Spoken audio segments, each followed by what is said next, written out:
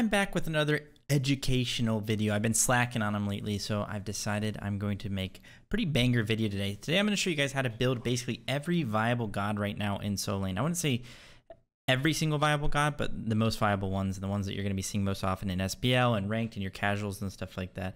Um, so I, am just going to break it down really fast and really simple for everybody, give you guys what build I am going with a little, a few optional items, something that you can consider. And it kind of depends on the game, of course, because building in Smite is always going to be changing and it, you know, it changes in every single game when it comes to counter building. But so you can go ahead and like say you want to see a certain god, you can like pause during that god and you can just look at the build and kind of copy that and go into your ranked games and use that and you'll probably do pretty well because I think most of these builds are actually pretty sick right now and kind of fit the meta. So I'm just going to go through the gods. We're going to start with the warriors, the most uh, viable warriors in my opinion. Of course, Cuckoo and his build. I went ahead and put everything already preset. So what you're going to see is you're going to have the relic choices at the top. You're going to have the starter item choices. Um, Kuku's an exception. He has a ton of relic choices, so don't get it. Don't get overwhelmed. It's just Cuckoo usually that has all those choices. But um, the first six items are basically going to be like right here or the first five items because technically you have a starter item, um, but then you can sell your boots for another item. So there's always going to be six items in that kind of way. Um, so anyway, that's how it's going to be laid out. So for every god after Cuckoo is also going to be pretty similar. So basically you can go beads, blink, thorns, or sunder on him. You can also go horrific and cursed ankh. All of these work. Cursed ankh obviously they have healing. Horrific if they have a lot of auto attackers. You can combine it with beat or uh, your blink. I really think that you do need blink on this character. There's some games you're going to need beads just because there's a lot of CC in the game and you don't want to just get insta killed. But I think maybe people overbuy beads a little bit. You can get very, very tanky on this character, and that's why I think Thorns and Sunder are also really good, allow you to be very offensive. You either can go Bluestone or Warrior's Axe. Bluestone if you're just trying to kind of like clear out the lane and uh, maybe either rotate, you know, PVE a lot of the time. Warrior's Axe is good in those matchups we're going to be hitting each other a lot. So Kuku versus Osiris, Kuku versus Arthur, stuff like that. You're going to be trading back and forth, getting some sustain. And I actually think that this Warrior's Axe is maybe a little bit better than Bluestone with the rest of the build, just because later on in the game you can go Sundering Axe, and it combos so well with this full tank build. And I think Cuckoo is one of the few characters in the game right now that works really well with just pure tank items for the most part. And the only thing that's not is mystical. So you go tank boots, mystical talisman. You go pestilence here if they have healing. Then you go void shield. Then you go Pridwen. If they are getting crit, you can also replace this void shield with the spectral here. But if they uh, you don't need to rush it right away, maybe your head, you can replace your boots with the spectral. And if they're not going crit, because crit is actually kind of falling out of the meta right now, then you can go something like a wing blade. I really, really like wing blade right now. It's a very, very sick item, and uh, um, not only just for the magical defense, just the, the slow immunity and everything. It just makes you so hard to lock down in those team fights and throughout the game. So yeah, that's Kuku. Those are your options. Moving on. Moving on to Gilgamesh. Oh, for the record, I'm escaping Achilles because I personally hate Achilles and I do not think he's very good. So if you were to play him though, I would build him pretty similar to how I would build something like um, probably like a King Arthur or maybe even like a, an Osiris or something like that. So uh, moving on, Gilgamesh. I actually really like Gilgamesh. He's very fun, and I also think he's actually pretty good, especially in ranked. So, your options basically go beads every single game if they are very, very lacking in the CC, you can go blink on this character, and it actually kind of is nice because you can blink on somebody, force their dash, and then ult them and chase them out with your dash. So it's actually pretty nice, but he has no CC immunity in his kit, so a lot of times you do want to have that beads. I look at a combo beads with the Sunder just because if you get your item when you're out on the map, you can actually sell that and basically upgrade your relic every single time in every single game. Basically use that item. Unless you're building into that item, you can use that item as like a way to upgrade your Sunder early on in the game, which is really, really nice in my opinion. You can also go Thorns if they have a lot of auto attackers so that when you dive in, you can full commit and just pop Thorns. You'll do a lot of damage. So Gilgamesh is an exception, exception amongst the uh, Warriors right now. I actually like building a bit more damage on him. So usually you go tank boots, but I actually prefer to go Bluestone every single game. I think that's the best starter item for him. So don't go Warriors Axe or anything like that. You just proc it so often, and it's just really nice for what you're trying to do on Gilgamesh. Um, and then you combat that with the Warrior Tabi. You do a lot of damage early game. You're also pretty safe, especially if you have beads and your jump and your ult and all this peel for yourself. So you don't actually need that tank boots to you know survive ganks and stuff like that. So I think it's worth to go for this more power option. But I still go the Mystical Mail for all that tick damage, especially combined with all your abilities and everything. You actually just own really, really hard and are very aggressive with this build. But you're also still pretty tanky. I go Wingblade third item on him every single game basically. Um, sometimes I switch it up and go Talisman there and then go Wingblade, but I really like comboing these two items on Gilgamesh. You just run people down with the amount of movement speed that you get, and then the MP5 from Talisman of Energy is always, always nice. You can also go Pestilence here if they have a lot of healing, and then you slide in that Void Shield last time. You need a physical defense item here, so you're kind of tanky to those physicals late game. Remember, you can always go Spectral here, especially if they're building in that crit, but since it's falling out of the meta a little bit, maybe you go Void Shield, and if you really need, you can go, uh, you can sell your boots for the Spectral. If you don't need that, you can go something like an Aerondight. Pridwen is also really, really nice on him. It's kind of hard to fit into this build, but you can sell your boots for it, and that's always an option. Of course, always upgrade to Bluestone Brooch if you're going into the Bluestone. So that is Gilgamesh. Moving on to Guan Yu. Don't really have to talk to too much about this character. His build is pretty much the exact same as it has been. You'd go the reinforced greaves now instead of warrior tab, but you could still go warrior tab if you really wanted to. You go the breastplate, the Genjis, and the CAD shield. You get that full CDR plus the CAD shield, so your increased healing, uh, especially when you rotate over those gold furies, those mid fights, pyros, fire giants, everything like that. I like to throw in a wing blade basically, basically in every single uh, tank build that I have these days. It just makes you very, very hard to lock down, like I said before. And it doesn't really matter where you build it. If you're getting it into your build, it's going to be feeling really good, especially with these full tank builds. Um, then you upgrade to Bluestone Brooch if you're going that route. If you're going the Warriors Axe route, you go Sundering Axe basically always, but Guan Yu is maybe a bit of an exception where you can go Hero's Axe because you are going to be peeling a little bit more with your healing and everything like that. So Heroes Axe actually works pretty well with that. Um, but for the most part, I like Sundering Axe on basically everybody. And then you sell your boots for Void Shield or for Spectral if you need it for their crits. Um, your four options are pretty much the same relic wise uh, beads, blink, sunder, thorns. Uh, I think most games are going to have beads and blink.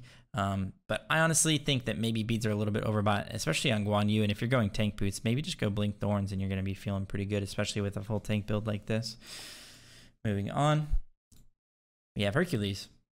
Hercules actually think is pretty good right now. Um, a little bit underrated.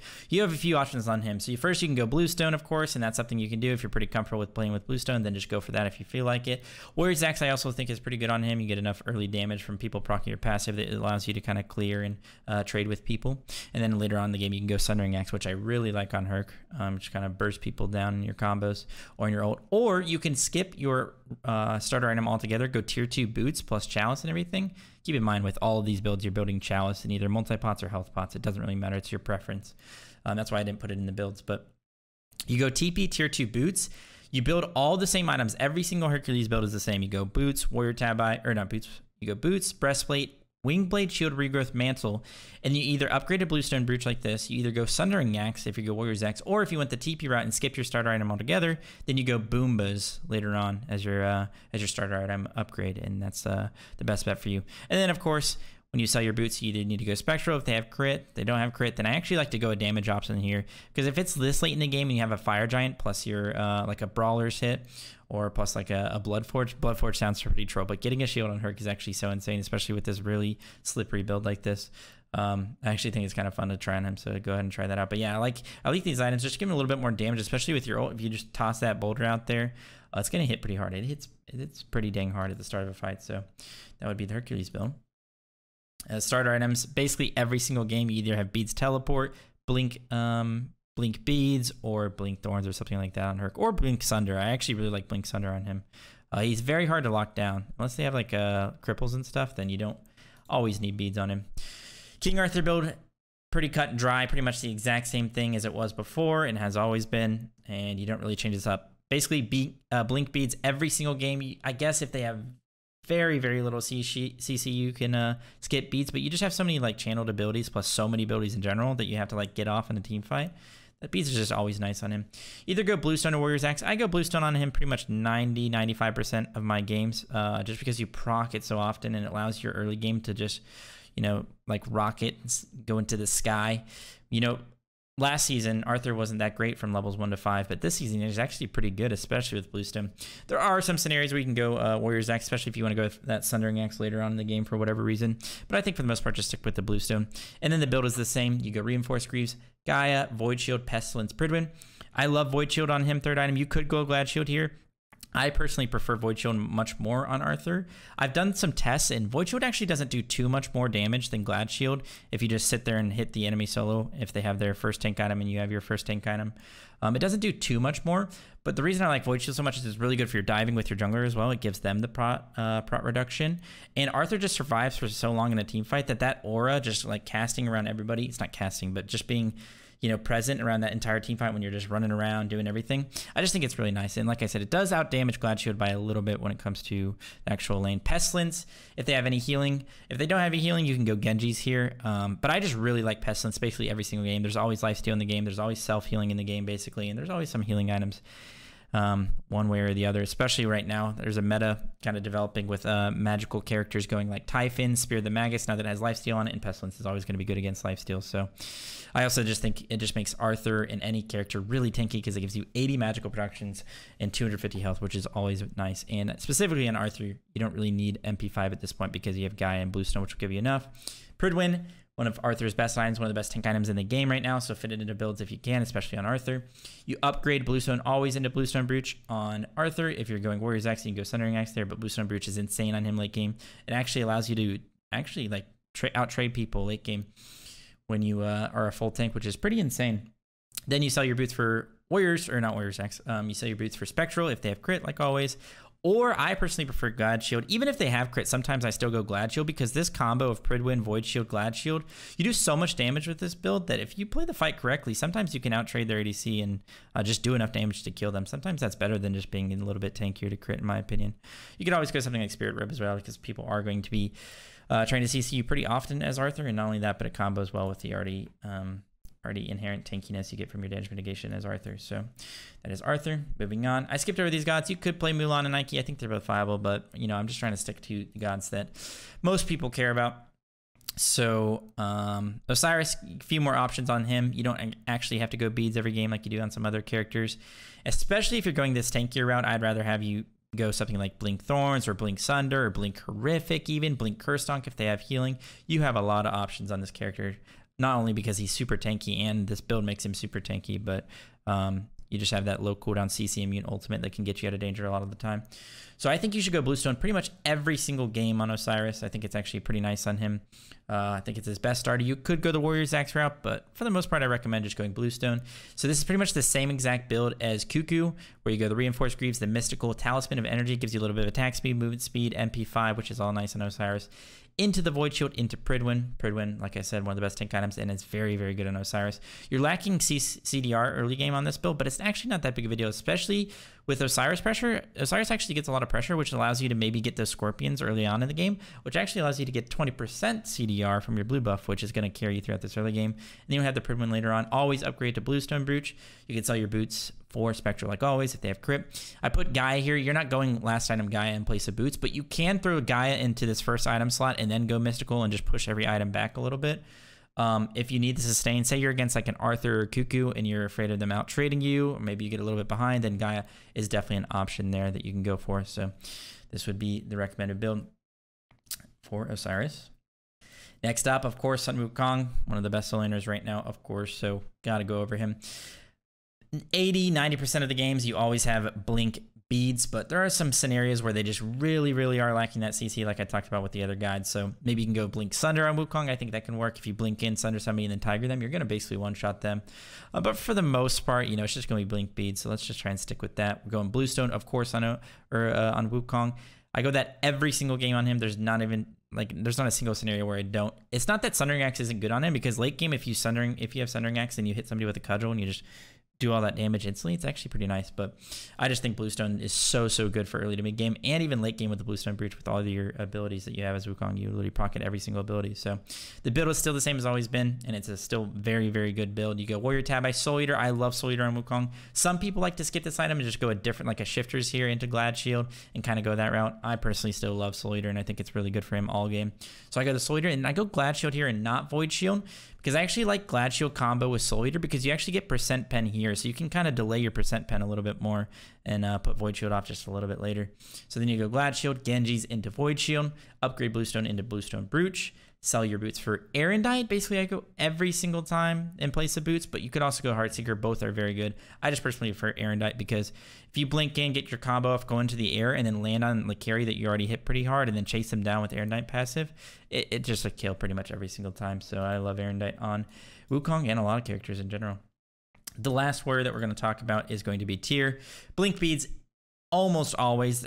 I don't remember the last time I didn't get Blink Beads on Tyr just because he's another character with some channeled abilities that you want to be able to cast.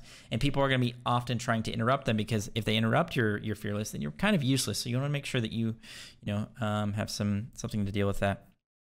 Um, so you go Bluestone every single game on Tyr. That's his most viable start, probably his only viable start, to be honest. It kind of allows you to full clear level two, do all the things that you want to do on Tyr. I go Warrior Tabi every single game on, on him. You can go Tank Boots, but I think if you're going Tank Boots Tyr, you're the biggest pussy in the world, so whatever. Um, then you go these three items, basically every single game, Warrior Tabi, Breastplate, Wingblade. The next two items, you can kind of just toss in whatever you really want. I like Relic Dagger on him, so you can get that blink up more often so you can make more plays. And like I said, Pestilence is one of the best magical defense items in the game right now just because of all the healing, all the self-healing, and just because it gives you so much tank tankiness, right?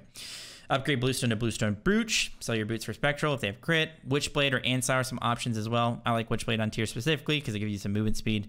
And, you know, when your cooldowns are down you, in the backline, you're, you know, reducing their attack speed, allowing you to buy some time so you can get your cooldowns back up and maybe get another Fierce off. And Ancile, Ancile I like because it combos with Bluestone and um, uh, either your boots or maybe you're replacing your boots with it just to gives you a little bit more damage to make sure that you can actually kill people through your combos and your auto attack cancels. So that's how you build Tyr right now as well. So those are all the warriors. Now I'm going to talk about the assassins. I'm going to skip over the guardians today because I actually think guardians right now are pretty unviable. The only one I think maybe is a little bit viable is Cthulhu and maybe Cerberus, but um, their builds are pretty much like, like they always are. You go Gaia, you go breastplate, you go voidstone, and you you just run at people. Um, but yeah, I don't really think they're that viable right now. So I'm actually going to talk about the assassins that are viable because there's quite a few.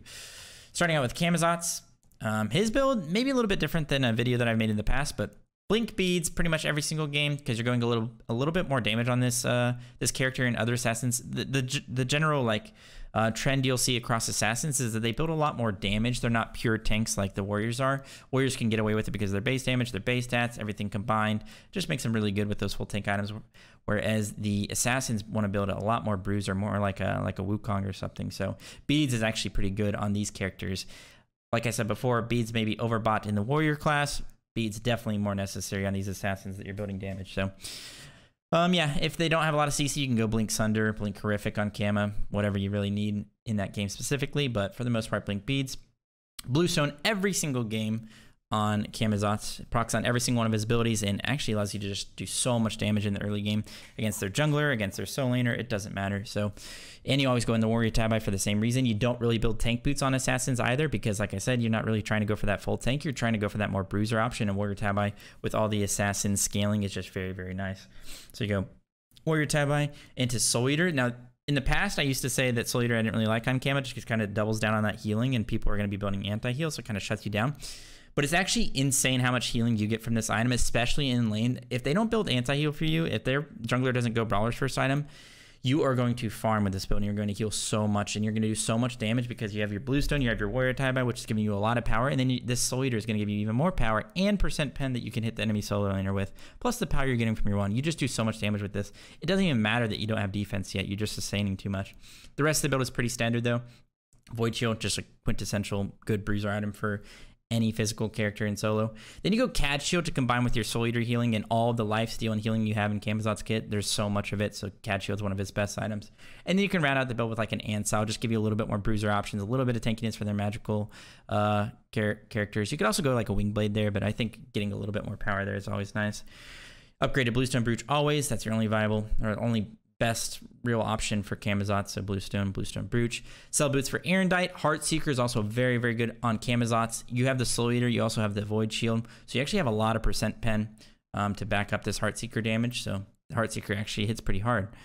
And then you can always go for Spectral if you want to be a little bit more tanky. Say you know you're you're you're blinking in, you're getting all your combo off, you're going into your ult, and they're still not dying, and then when you land, you're just getting crit down. Then that's when maybe you want to consider bit getting a, a Spectral. But most of the time, just going a little bit more damage is actually better, so you can actually kill them before they kill you as an assassin. Um, moving on, so who is it next? It's Loki, the other another viable assassin solo. You don't need Blink on Loki. Your engage is your Invis or your ult, so you basically never want to go Blink on him. So your most viable relics, like I said, these characters building a bit more bruiser, are going to be Beads, Thorns, or Beads Sunder. And in the rare, very rare occasion that they don't have a lot of CC, maybe even Thorn Sunder. That would be pretty insane. But you can always go those other relics like Horrific if they have a lot of ADC damage, or Cursed Ankh if they have a ton of healing, it's going to pop off. Say they have a Yemoja, a Terra, something like that, it might actually do pretty well.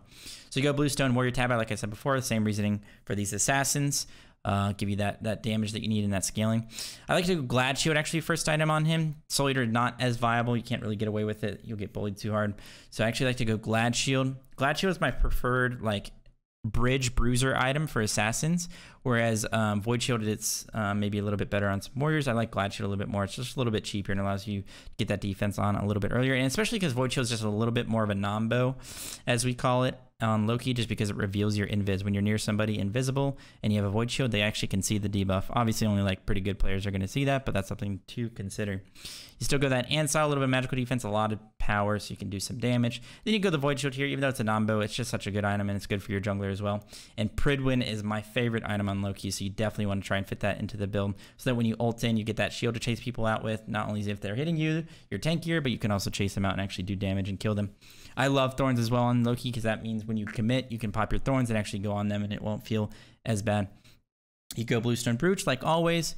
Go Aerondight in place of boots like always, or Heartseeker in place of boots like always, or Spectral in place of boots like always. Basically the same thing, the same reasoning, okay, guys?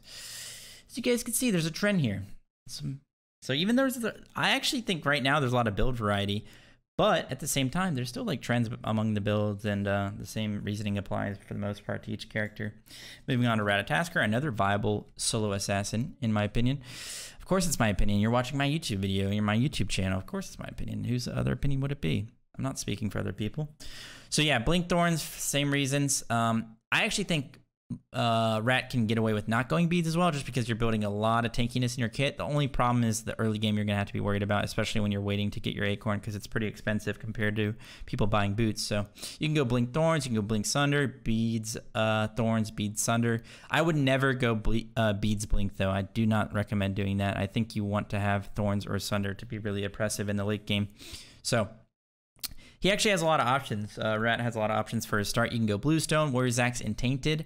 I think Warriors Axe is probably the best for him just because the Sundering Axe combos so well with his Thick Bark Acorn and because it combos well with Glad Shield and it combos well with Pridwen. You just have such a, a synergistic build here, right? So to speak of the build, you're going Thick Bark Acorn every single game. That's the double two. This is his best Acorn for solo, in my opinion.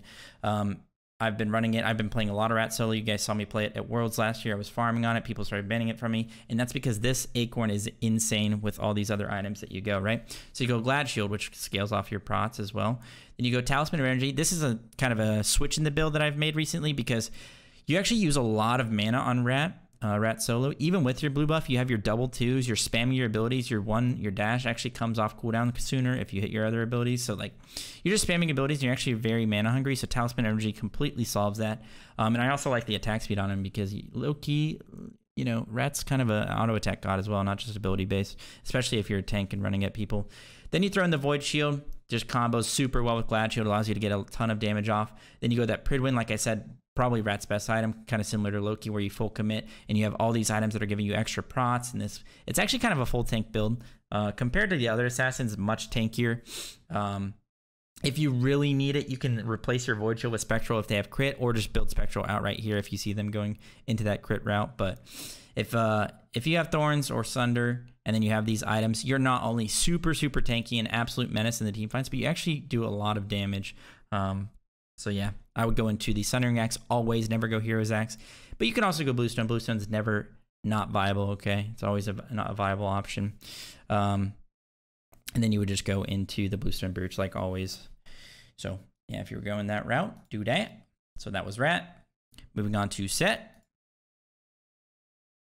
Set kind of similar build to last season. His build got nerfed pretty hard when they nerfed Berserkers, and uh, Frostbound became just a little bit less meta with stuff like Wingblade being meta. But you either go Bluestone or Warrior's Axe. I actually think I prefer Warrior's Axe a little bit more on him just because Sundering Axe late game, just throwing out your skewers and just hitting people for percent health damage is really, really nice. You never go Blink on set. You do not need that on him. You full engage with your three, and that's basically what you do. You ult three, and that's that's kind of how you play the team fights. So you go Beads Thorns pretty much always, or Beads Sunder. That's an option if you're trying to, you know, jump on them, sunder them, and maybe you can full commit with your ult and try and kill them.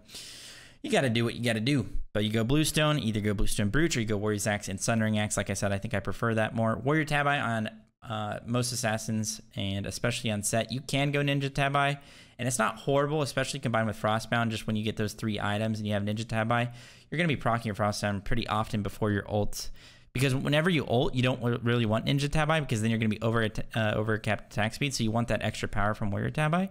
But when you're not ulting you're just running people down with uh, your auto attacks, Frostbound, Ninja Tabi, Void Shield is actually a pretty good combo. So that's something you can consider. But for the most part, you want Warrior Tabi since you get so much attack speed from your passive and your ult. You go Void Shield. It's a little bit different on uh, set because you actually want to be you want to have enough damage to full commit on the enemy soul laner with your ult and actually kill them. So that's why I think Void Shield's a little bit better on Glad Shield than Glad Shield uh, specifically on set. It's a long video, guys. It's long winded, so I'm messing up a little bit, but whatever. So that's why I like it a little bit more on him. And you combine that with the Frostbound so you can actually run them down, force their ults. Like say you're against a Wukong, he's gonna have to ult on you pretty often if you catch him with his three down. You're just gonna Frostbound him down. He's gonna have to beads. Like you can just be really aggressive with this kind of build. Then you go Talisman of Energy because it gives you some attack speed, which is nice on set, and a lot of tankiness. You can go Pestilence here if they have healing or if their ADC has a lot of life steal and is gonna be a little bit ahead or whatever. Then it's gonna combo really well with your Thorns. And then if you have upgraded Thorns plus Pestilence, they're just not gonna be healing on you at all when you're diving them. But for the same reason, you can go Brawlers down here and then just have Talisman down um, brawlers in place of boots, of course. And then spectral if they have any uh, any crit, Merc jungle, ADC with crit, you know whatever it is. Um, brawlers, like I said before, I really like just because if you have that upgraded thorns, which you basically buy thorns on set every single game because you have to full commit as set, so they're going to turn on you, and you need to be able to do enough damage to them to threaten them to back up or actually just outright kill them. So for the same reason, Brawlers is pretty nice because if you have upgraded Thorns in Brawlers, they're 90% uh, anti-heal on their, their life steal, which means they're not going to be able to 1v1 you as, as well as they could before. So that's why I like anti-heal on him as well. Aerondight, not good on set for the record because it procs after you're settled. So that's not something you do want to go on him. And then last but not least, the last assassin that we're going to talk about right now, actually a pretty dang good assassin, pretty good character right now in Soul in my opinion. Once again, I said in my opinion, who fucking cares? But it's going to be Tsukiyomi. Um, another character you do not blink into engage. You do not need it. You can just go beads thorns. You can go thorns sunder. You can go beads horrific. Um, you know, whatever you really want on this character, you can go. He can get away with everything. So that's really nice. That's a really nice thing about this character. And some other characters that I really like right now is that you maybe don't need Blink or TP or you know anything like that, or maybe even Beads. Um, but Beads is pretty good on him, just because once you commit to your, with your ult, if they sit there and try and CC you and blow you up, especially with a less tanky build, it's going to be a little bit hard to survive. So Beads Thorns, I think, is Beads Thorns or Beads Sunder is the go-to. I really like Beads Sunder when you go um, Sundering Axe. Sundering Axe and Sunder is just such a combo. You just one-shot people with like a pretty tanky build. So it's pretty insane to go that route.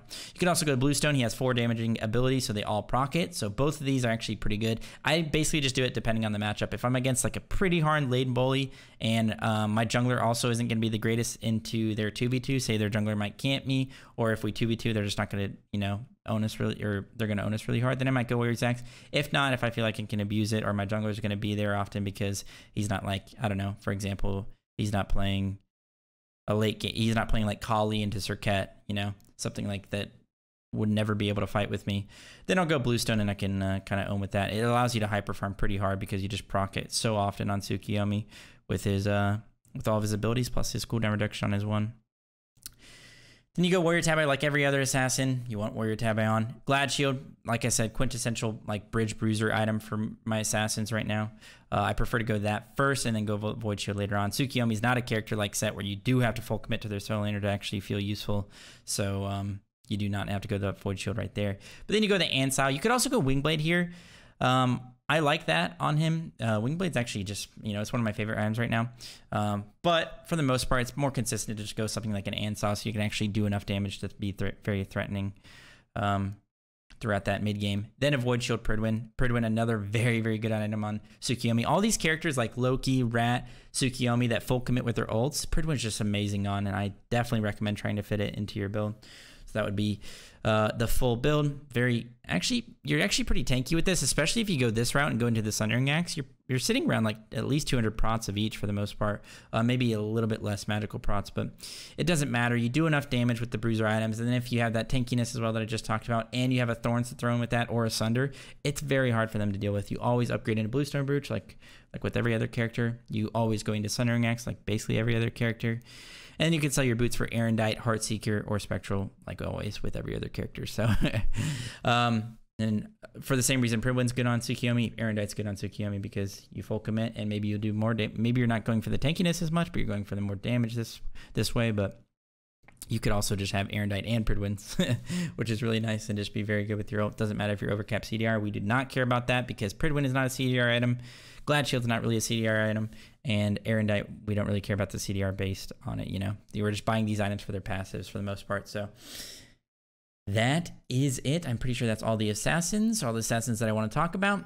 And uh, you know, like I said, there's other characters that are definitely like somewhat viable, especially when you come to these warriors. Like I think Achilles is viable, like I said before. Vamana's definitely a little bit viable, and uh, Mulan and Nike, but their builds really aren't that much different. And uh, I kind of just wanted to go over the gods that I think you probably should be playing right now. The gods that are gonna give you the best chance at winning your ranked games, your casuals, or maybe you're uh, like a Challenger Cup player or SPL player. Who knows?